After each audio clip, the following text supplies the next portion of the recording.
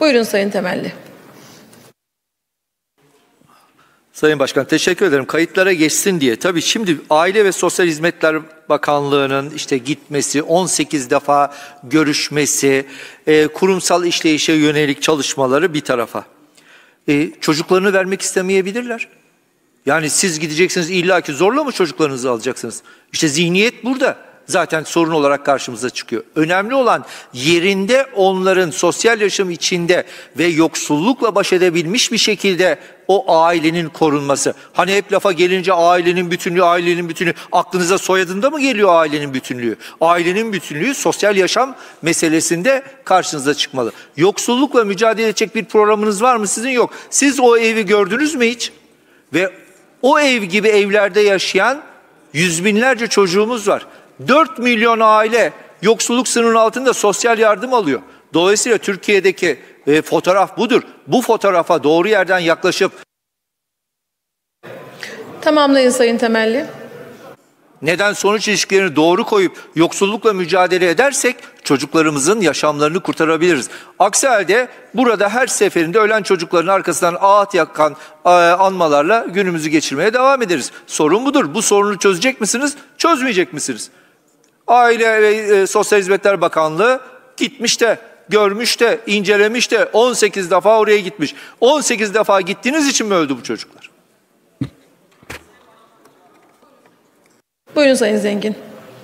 Şimdi Sezai Bey'in aileyle ilgili hassasiyetimiz konusunda dalga geçermiş gibi konuşmasını pek anlayamadım yani. Sesinizi falan değiştirmeye gerek yok. Herhalde aileye burada muhalif olan kimse var mı? Bütün dünyada herkesin kabul ettiği en temel nüvedir. Toplumsal hayatın en temel nüvesidir. Evet aileyle ilgili bir hassasiyetimiz var. Kimsenin çocuğuna neden el koyalım yani anlatıyoruz bakınız. Şimdi ben bilerek söylemedim yapılan destekleri.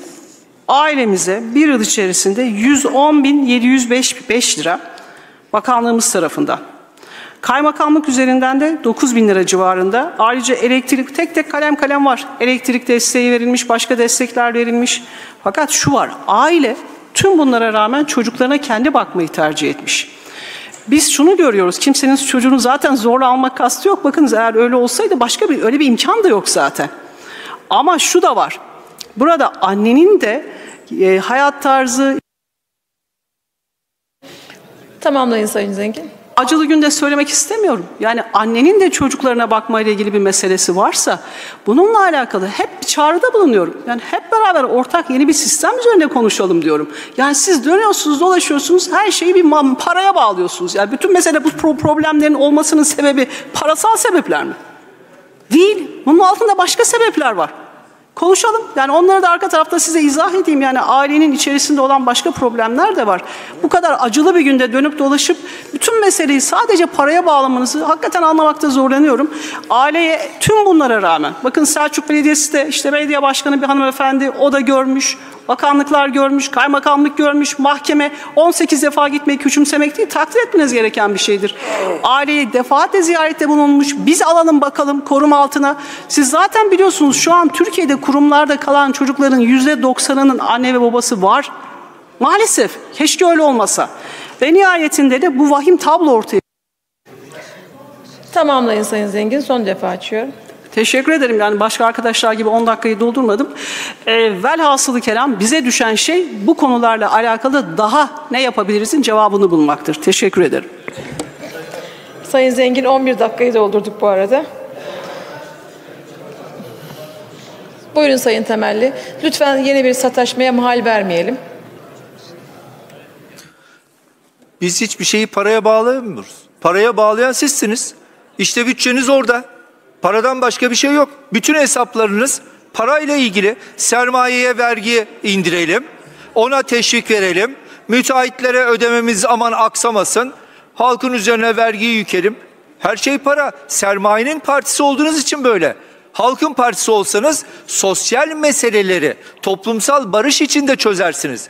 Dolayısıyla mesele 130 bin lira verdik, 30 bin lira daha verdik. İşte paraya bağlamışsınız.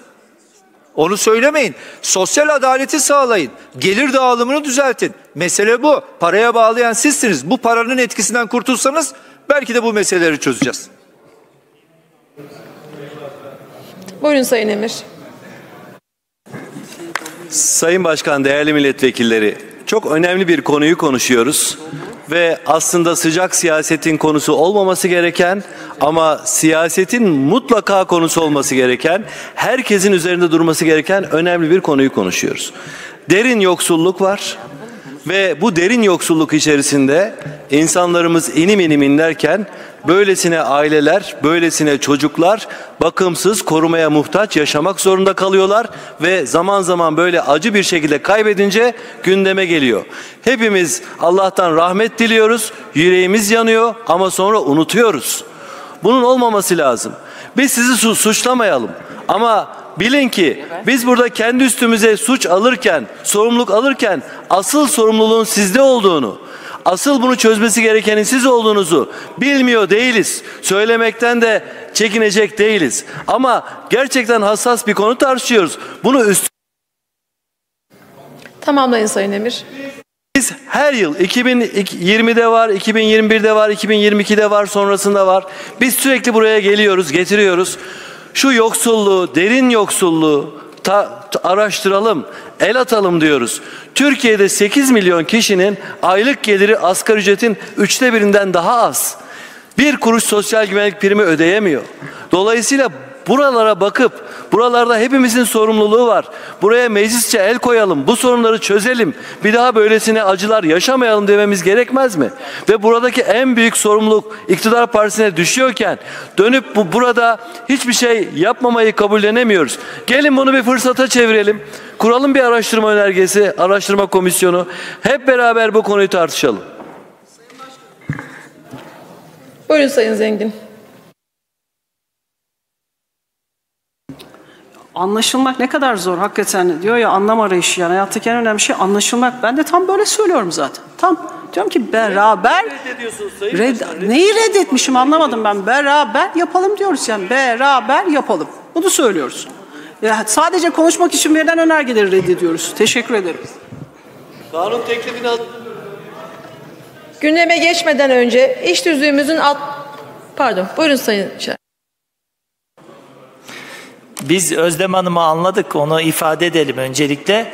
Tabii yiğidi dövelim de hakkını da verelim. Şimdi burada e, iktidar partisinden bence güzel bir teklif geldi. Önemli bir sorunda bunu masaya yatıralım, birlikte bir çözüm yolu bulalım gibi e, değerli bir teklif geldi. Biz bunu önemsiyoruz.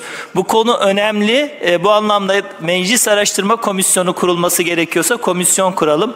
Kanun çalışması yapılması gerekiyorsa birlikte yapalım. E, ben bu anlamda bu de, e, teklifi değerli bulduğumu ifade ediyorum. Özlem Hanım'ı da anladığımızı tekrar ifade ediyorum. Teşekkür ediyorum.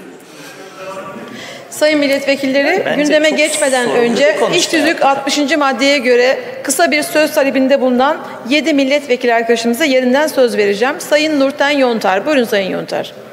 Sayın Başkan, 39